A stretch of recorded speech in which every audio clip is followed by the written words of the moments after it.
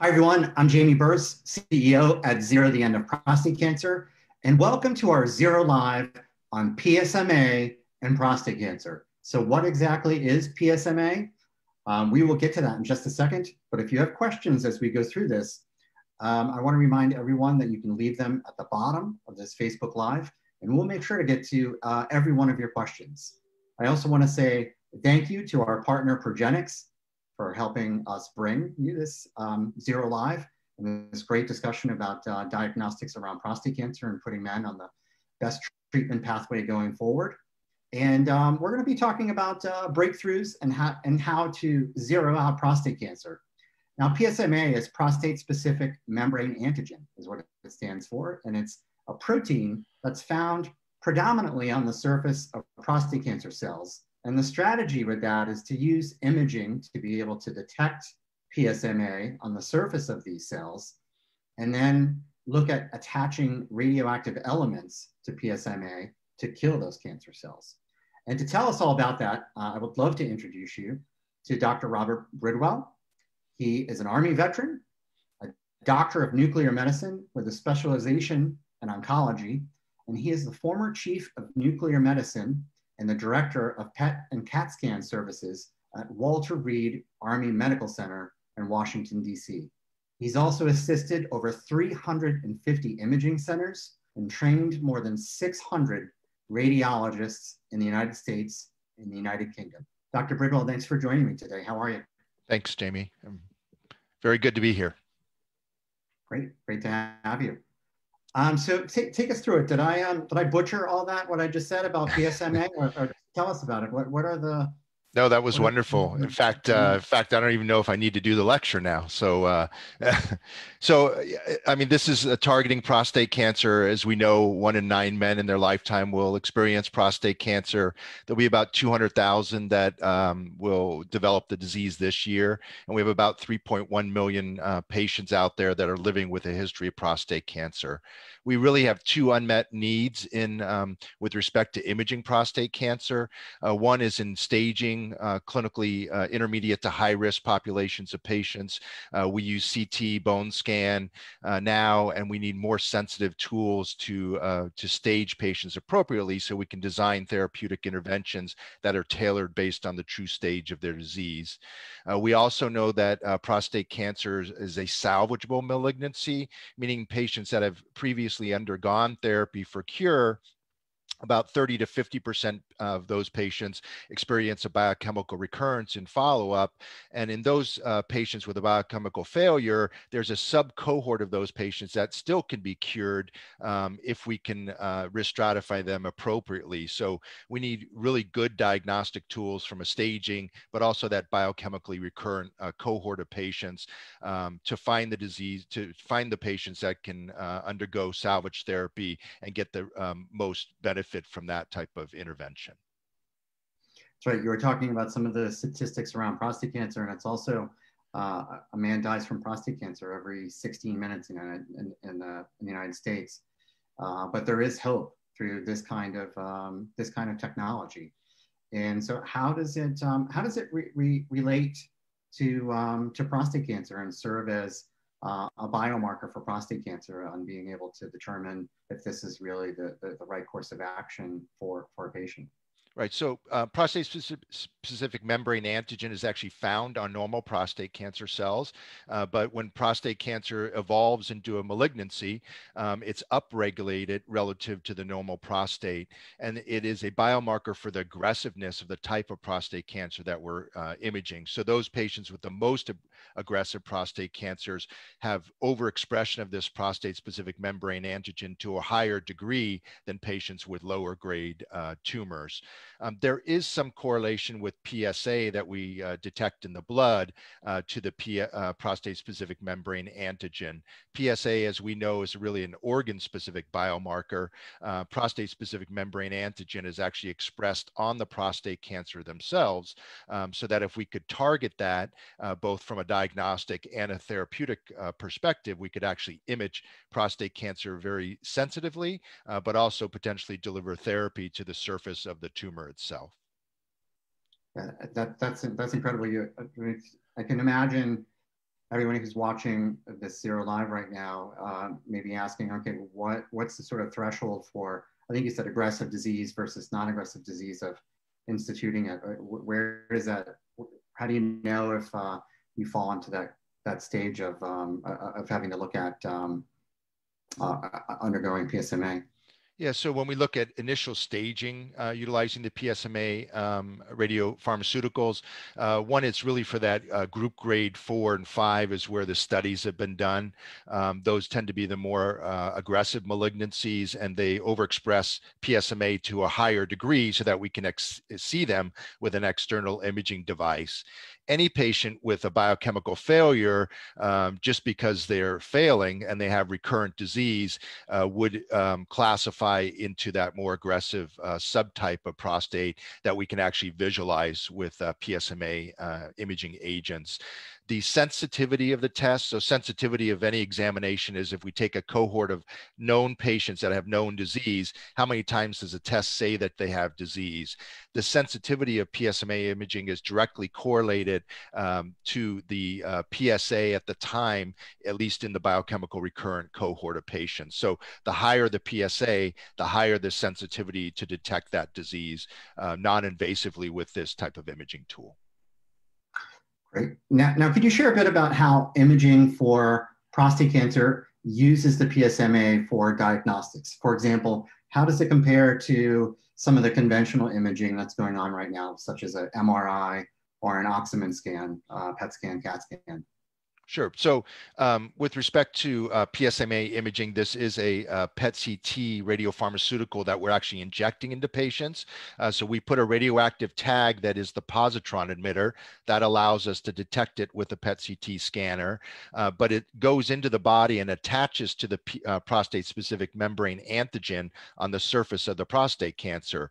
It then is internalized within the cell. And so, we get more accumulation over time. So, we get better detection detectability rates of cancer across time. So there's an injection and then we wait a period of time before we take the pictures.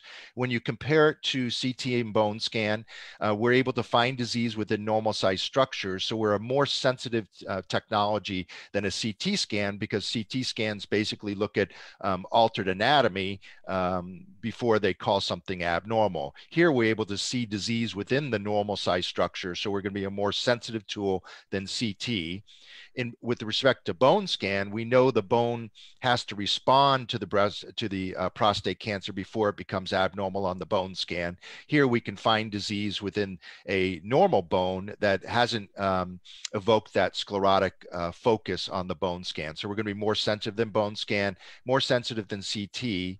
Um, when you bring up multiparametric MRI, multiparametric MRI is really a tool to guide biopsy uh, in uh, patients with abnormal PSAs, but also can be used for recurrent disease uh, in the pelvis. And again, we're going to be able to, to look systemically across the whole body uh, with this tool. So there may be some synergy between multiparametric MRI and PSMA imaging in uh, the biochemical recurrent uh, patient population. Um, Axumin, you mentioned, which is uh, fluciclovine, which is another PET CT uh, radiopharmaceutical that's available now in the United States. It is a um, essentially a synthetic amino acid that goes to slow growing tumor types. So it's not specific for prostate cancer. And in head to head comparison studies between PSMA and Axumin studies, we're about 50% um, more sensitive in that low PSA cohort, specifically in that biochemical failure patient population. So, in some recent articles, um, you have about a 50% detectability rate with PSMA below a PSA of two, and uh, with the Axumin uh, study, you only have about a 26% uh, positivity rate in that population. So, more sensitive in the lower uh, volume of disease patient population So, maybe able to be able to detect the prostate cancer or prostate cancer recurrence um, over some of the other scans uh, when it happens.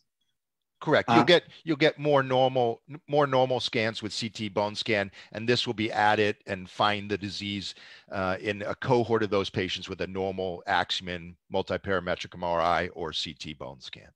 Okay. And now, who who's the right um, type of patient for for this sort of sort of imaging? Um, you, you look at um, you know what's the, the staging of patients. We talked about you talked about that with um, you know with uh, staging with patients with high clinical risk, uh, as well as restaging those ind individuals with um, biochemical or, or clinical failure after uh, definitive initial therapy. But um, but talk about what, what types of uh, patients should be looking at, at this. Uh, obviously, is it late stage, but then that's also used for those who may not have undergone treatment as well.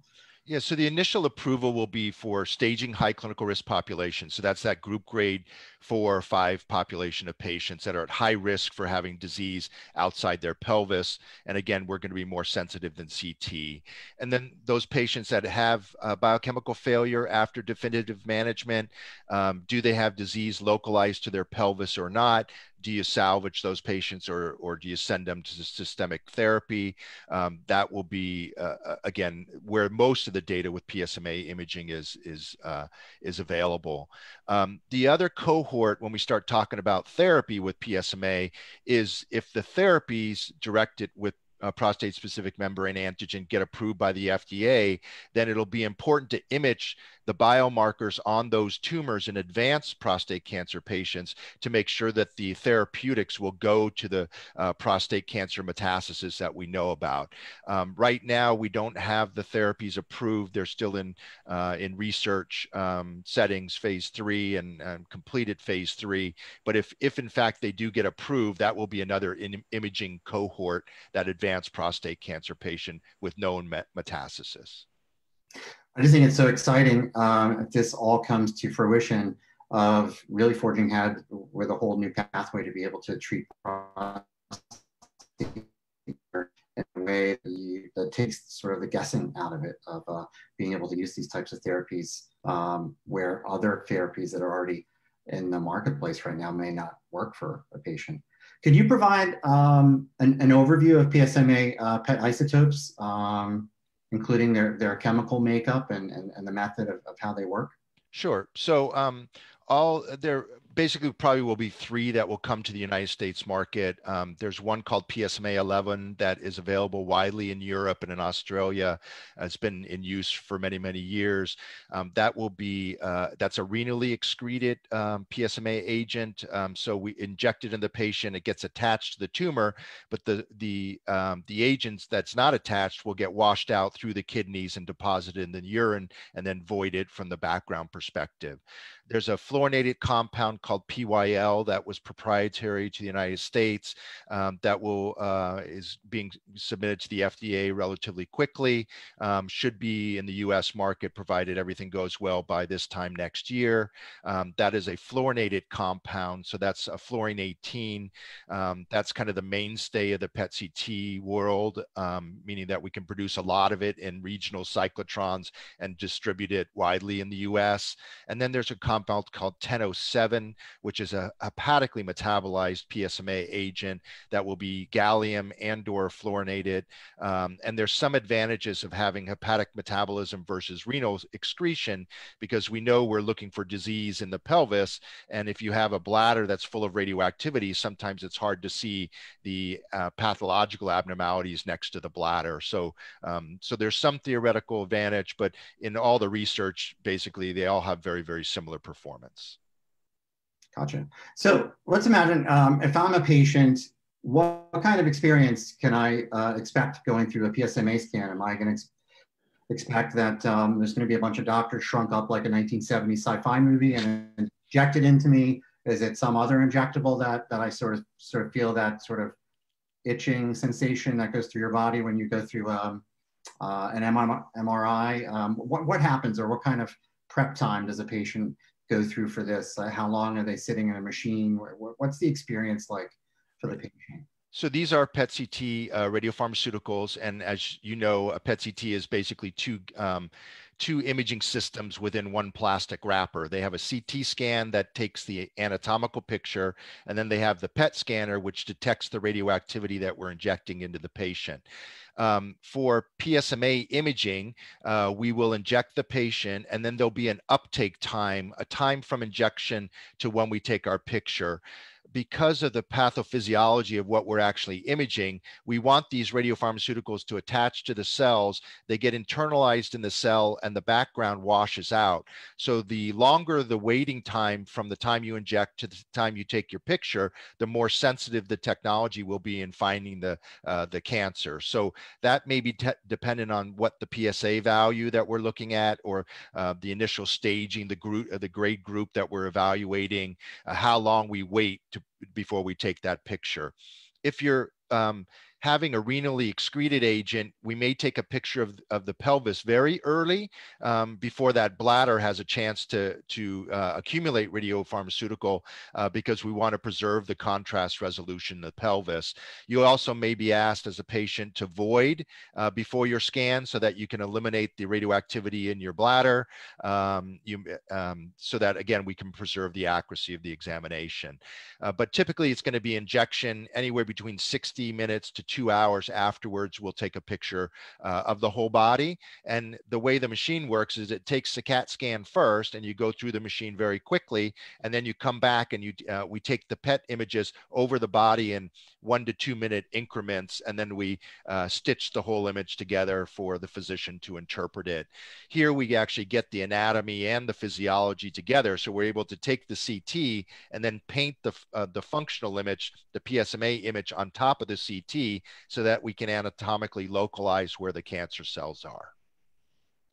It's just incredible, incredible science um, to be able to have all of that knowledge at your fingertips as you are able to, to team up with your doctor to fight your prostate cancer. Now tell me, what is a, a theranostic and how does that apply to PSMA um, as the clinical target?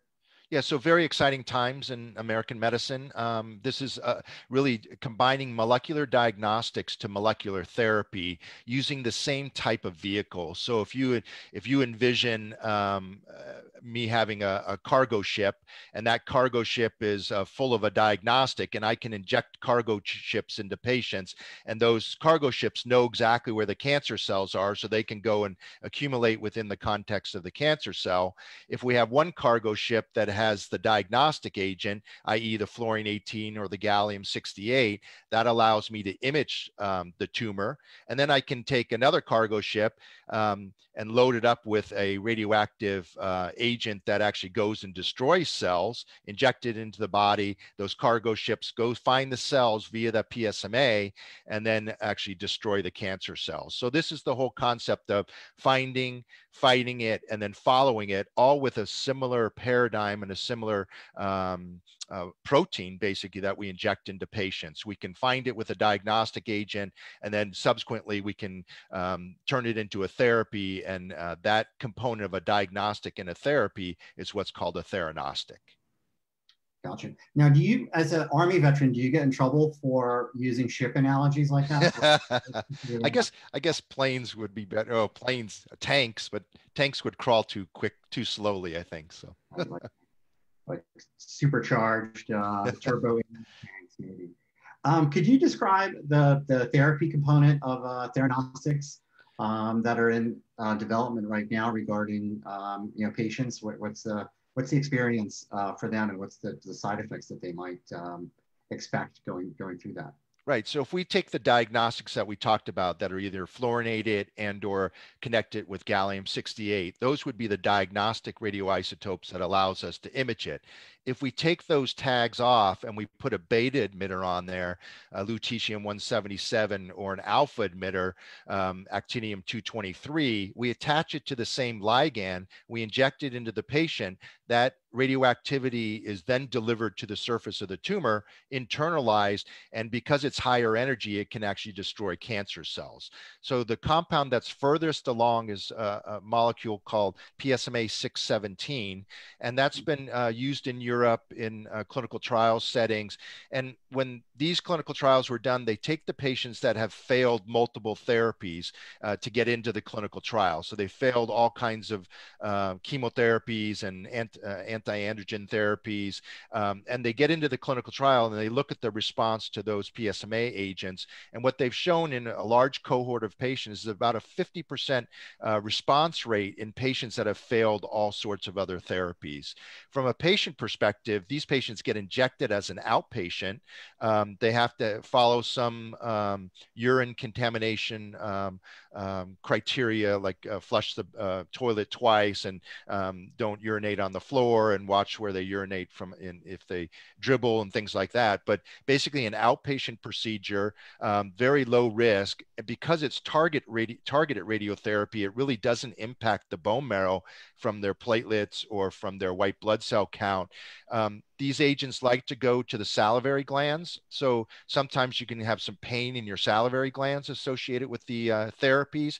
But if you suck on some candies and you keep your saliva uh, moving, you're going to minimize the risk of those side effects. So very well tolerated, um, very few side effects. And the patients get injected basically monthly uh, for four months um, with these agents. That's great. So, um, so when we look at um, the theranostic uh, potential uh, of these agents, um, are, are, there any other challenges um, around the diagnostic uh, imaging? Uh, to yeah, I mean, I think I, I think there are a lot of theranostics in development. Uh, PSMA 617 with the lutetium 177 is the one that's furthest along. It's right now being researched in patients that have failed everything else. But I think you're starting to see clinical trials move it forward either as an adjuvant in high clinical risk patients, uh, patients with early biochemical failures. Um, I think the biggest challenge is, uh, you know, getting getting all the the research completed so that we can get it available to the U.S. market. Um, how we deliver that, who actually delivers it is going to be a challenge, whether it's your urologist or whether it's your radiation oncologist. Um, again, uh, the different makeup of the American healthcare system.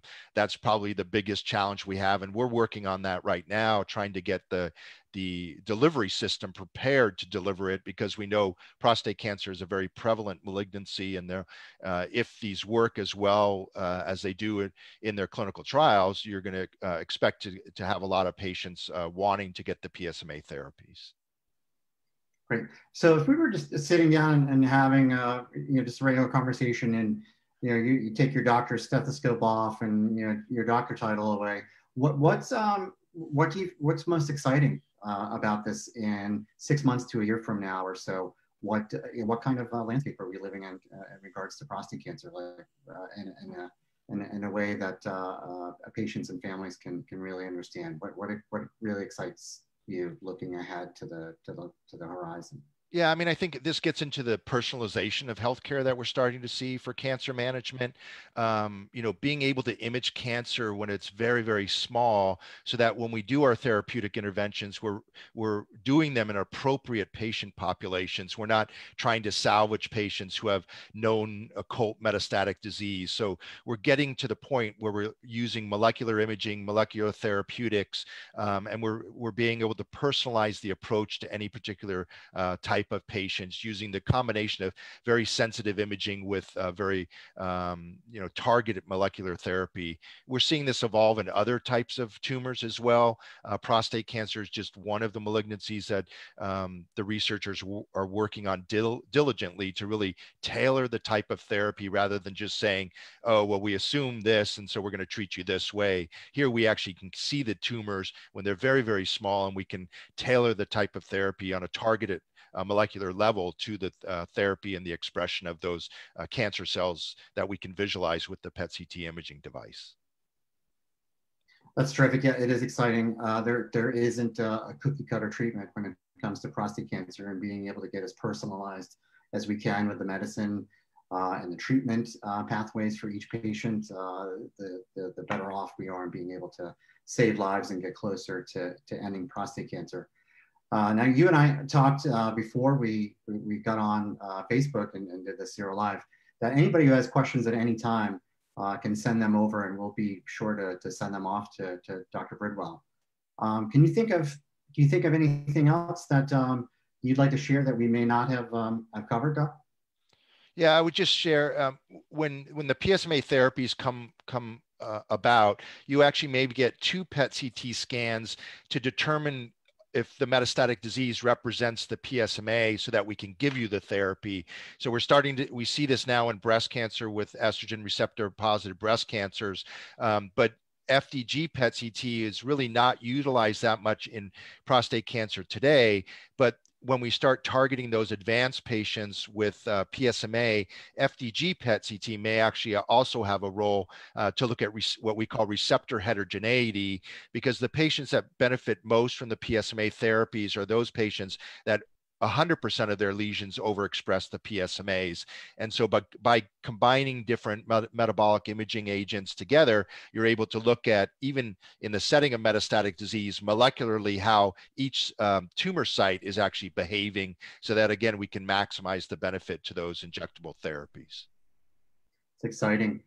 Uh, thank you, Dr. Bridwell. Um, thank you for, for making time today. I know that you're very busy. And uh, thank you for your insights and uh, getting us excited about uh, what the future holds uh, in, in prostate cancer treatment and uh, detection. Uh, Great. Really exciting. I want to remind everybody who's watching that um, it's Prostate Cancer Awareness Month, all September long. We're right in the right smack dab in the middle of Prostate Cancer Awareness Month. We have lots of events going on in order to be able to get involved. We need your involvement to help end prostate cancer and spread the word about it, as we said at the outset. Um, one in nine men get prostate cancer. A guy dies from this disease every 16 minutes. Uh, but there's hope because of this great, great research that's going on and these great advancements in personalized medicine. And it can only happen because of you. So please get involved. We have virtual events happening all month long, every weekend. Uh, from a social media standpoint, we have a campaign that's going on right now that's called Monday Myths. What are those like misnomers out there about prostate cancer? On Fridays, we have Friday Facts that way you can drill down and really know the facts about prostate cancer. So uh, please keep following us on social media. Follow us on Twitter, follow us on Instagram. Of course, if you're watching this now, you're probably already following us on Facebook. And uh, please go to our website to learn more about it too. It's zerocancer.org. Um, and we also have a, a, specialized microsite during right now and during 2020 as we continue to go through coronavirus. You can get timely updates around prostate cancer as we go through COVID, and that's zerocancer.org slash coronavirus. And again, Dr. Bridwell, thank you so much for joining us, and uh, thanks for, for spending time with us today. Great. Thank you, Jamie. Thank you. Thanks, everyone. Bye now.